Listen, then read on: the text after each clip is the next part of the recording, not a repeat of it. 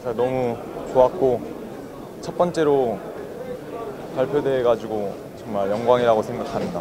근데 혹시라는 생각도 조금 했었는데 그래도 저를 믿고 있어서 잘 될 거라고 믿고 있었습니다. 항상 가고 싶었고 그리고 가서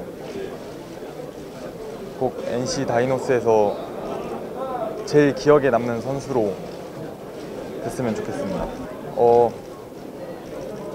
제가 상상해봤는데 진짜 너무 좋고 양인지 선수, 양인지 선배님 진짜 너무 좋으신 포수이기 때문에 진짜 정말 기대가 됩니다. 제 롤모델은 류현진 선수고요. 네, 닮고 싶습니다.